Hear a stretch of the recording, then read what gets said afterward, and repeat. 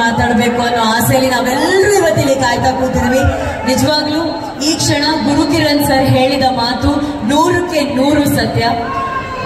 Duniya Vijay sir ಅಂತ ಏನ್ ನಾವು ಇವತ್ತು ಬಹಳ ಅಭಿಮಾನ ಪ್ರೀತಿಯಿಂದ ಅವ್ರನ್ನ ಅಪ್ಕೊಂಡಿದ್ದೀವಿ.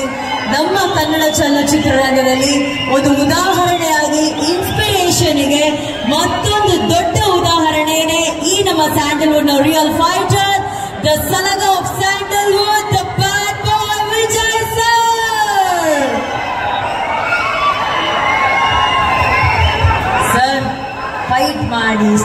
ಮಾಡಿ ಸಪೋರ್ಟಿಂಗ್ ಕ್ಯಾರೆಕ್ಟರ್ಸ್ ಮಾಡಿ, ಎಲ್ಲ ಮಾಡಿ, ನಟನೆ ಮಾಡಿ, ಕಲಾವಿದನಾಗಿ, ನಿರ್ದೇಶನ ಮಾಡಿ, ಗೆದ್ದು ಕೂಡ ನಿಮ್ಮ ಹಾಗೆ ನೂರಾರು ಕಲಾವಿದರು, ಯಾರು ಸಿನಿಮಾದಲ್ಲಿ ಏನೋ ಒಂದು ಹೆಸರು ಮಾಡಬೇಕು ಅಂತ ಫೈಟ್ ಮಾಡ್ತಿದ್ದಾರೋ ಅವರೆಲ್ಲರಿಗೂ ನಿಮ್ಮ ಚಿತ್ರಗಳ ಮೂಲಕ ಒಂದು ಅವಕಾಶ ಕೊಡ್ತಾ ಇದ್ದೀರಾ. ಫಸ್ಟ್ ಆಫ್ ಆಲ್ ಆ ದೊಡ್ಡತನಕ್ಕೆ ಒಂದು ದೊಡ್ಡ ಚಪ್ಪಾಳೆ ಬರಬೇಕು ನಮ್ಮ ವಿಜಯ್ ಸರ್ಗೆ.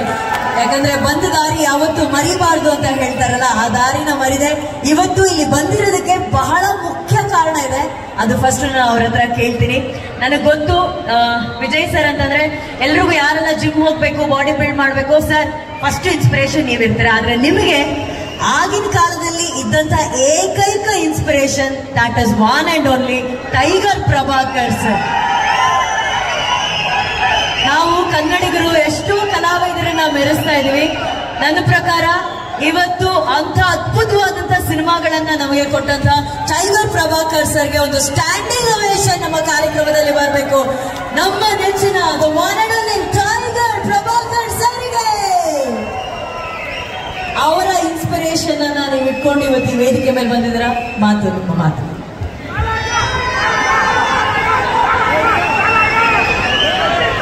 ನಮಸ್ಕಾರ ಎಲ್ಲರಿಗೂ.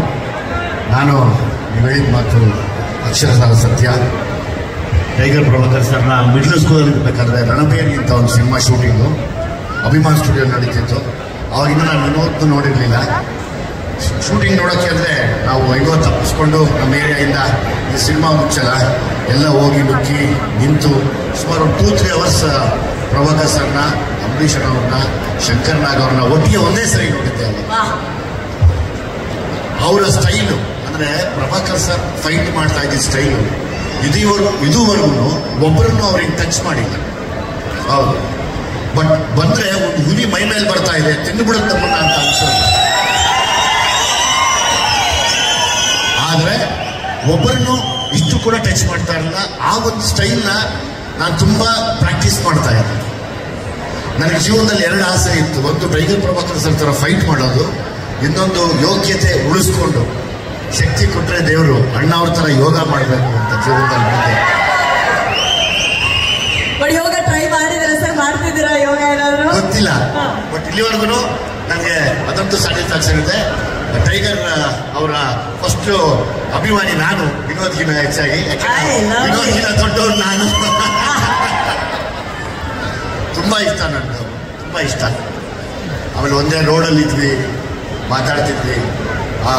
ನಾನು ಅವ್ರನ್ನ ಒಂದು ನಾಲ್ಕೈದು ಸತಿ ನೋಡಿದ್ದೆ, ಪ್ರಭಾಕರ್ ಸರ್ನ. ಬಟ್ ವಿನೋದ್ ಮಾತಾಡಿದಾಗೆಲ್ಲ ಅವರೇ ಹತ್ರ ಬಂದಂಗೆ ಅನ್ಸುತ್ತೆ ನನಗೆ. ಅಂದರೆ ನಾನು ಅವ್ರ ಜೊತೆ ನಿಂತ್ಕೊಂಡು ಮಾತಾಡ್ತಾ ಇದ್ದೀನಿ. ನನಗೆ ಅದು ಫೀಲ್ ಆಗುತ್ತೆ. ಫೋನಲ್ಲಿ ಮಾತಾಡಿದಾಗ ಫೀಲ್ ಆಗುತ್ತೆ. ಆಮೇಲೆ ಅಷ್ಟು ದೊಡ್ಡ ಮಹಾನ್ ವ್ಯಕ್ತಿಯ ಮಗ ಇವತ್ತು ನಮ್ಮನ್ನ ಕರೆದಿದ್ದಾರೆ ಅಂದರೆ ನಾನು ಅದಕ್ಕೆ ಎಲ್ಲಿ ಲಕ್ಕಿ ಇದೆ ಇಲ್ಲಿ ನಿಮ್ಮ ಯಾರು ಈ ಡೈರೆಕ್ಟರ್ ಇದ್ದೀರಲ್ಲಪ್ಪ ಪುಣ್ಯಾತ್ಮ? ನೂತನ್ ಉಮೇಶ್. ನೂತನ್. ತಪ್ಪು ತಿಳ್ಕೊಬೇಡ ನೀ ಡೈರೆಕ್ಟ್ರು ನಾನು ಹೇಳ್ತಿಲ್ಲ. ನಾವೆಲ್ಲ ಹೀರೋಗಳು ಉದಾಹರಣೆಗೆ ವಿನೋದ್ನೆಲ್ಲ ನೋಡಿದ್ರೆ ಆ ಡಯಟ್ ಮಾಡೋದಾಗ್ಲಿ ಆ ಫೈಟ್ ಮಾಡೋದಾಗ್ಲಿ ಕೈ ನಮ್ ನಮ್ದೆಲ್ಲ ಇಲ್ಲಿಂದ ಇಲ್ಲಿವರೆಗೂ ನೆಟ್ಟು ಬೋಲ್ಟ್ ಯಾವುದೂ ಸರಿ ಇಲ್ಲ. ಆಯ್ತಾ? ಎಲ್ಲ ಸ್ಪೇರ್ ಪಾರ್ಟ್ಸ್ ಬ್ಲಾಕ್ ಲಾಕ್ ಮಾಡ್ಕೊಂಡು ಬಂದಿರ್ತೀವಿ. ನಾನು ನಿಮ್ಗಳಿಗೆ ಹೇಳೋದು ಒಂದೇನೆ. ದಯಮಾಡಿ ಈ ಡೇಟ್ಗಳನ್ನ ತಗೋತಿರಲ್ಲ? ಒಂದು ಸಿನಿಮಾ ಮಿನಿಮಮ್ ಐದು ಸಿನಿಮಾ ಸಿಗಂಗೆ ಮಾಡಿ. ತಪ್ಪು ತಿಳ್ಕೊಬೇಡ. ನಾನು ನಾನು ನಾನು ಯಾಕೆ ನಾನೇ ಡೈರೆಕ್ಟರ್ ಆದೆ ಅನ್ನೋದಕ್ಕೆ ಉದಾಹರಣೆ. ಯಾಕಂದರೆ ಇವತ್ತು ವಿನೋದ್ನ ನೋಡೋಣ ನನಗೆ ಗೊತ್ತು, ವಿನೋದ್ ಎಷ್ಟು ಇಂಜುರಿ ಆಗಿರುತ್ತೆ, ವಿನೋದ್ ಏನೇನು ಅನುಭವಿಸಿರ್ತಾರೆ ವಿನೋದ್ ನೋವೇನು ನನಗೆ ಗೊತ್ತು. ಸುಮ್ಮನೆ ನಾವೆಲ್ಲ ಒಳ್ಳೆ ಬಟ್ಟೆ ಹಾಕೊಂಡು ನಗ್ತಿರ್ತೀವಿ ಅಷ್ಟೇ ಹಿಂಗೆ ನಿಂತ್ಕೊಂಡ್ರೆ. ನಿಜವಾಗ್ಲೂ ಕೂತ್ಕೊಂಡ್ರೆ ಎದ್ದೊಳಗಾಗಲ್ಲ ಸ್ಟೇಟ್ಗಳಿದ್ದಾವೆ ಇಂಜುರಿ ಏನು ವಿನೋದ್, ನಿನಗೆ ಎಷ್ಟಿದೆ ವಿನೋದ್? ಹಾಂ ಆಲ್ಮೋಸ್ಟ್ ಆಲ್ಮೋಸ್ಟ್ ಮಲ್ಟಿಪಲ್ ಇಂಜುರೀಸ್ ಇದೆ ಬಾಡಿಲಿ.